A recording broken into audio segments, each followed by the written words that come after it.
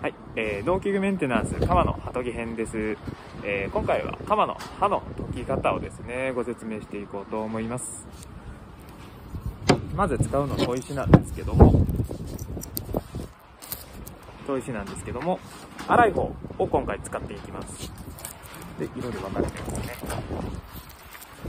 はい。で粗い方をまずはじめに水につけておきます。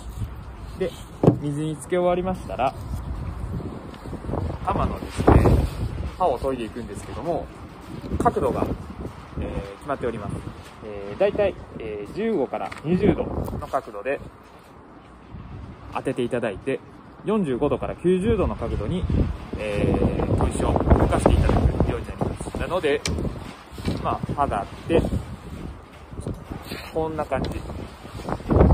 こういう感じです。研いでいただきます。で片面が終わりましたら反対側も同じように。15からあ45度。で研いでいただきます。でこれを23回繰り返していただくと切れ味が元通り、えー切り切り味のいい釜に戻りますのでよかったら試してみてください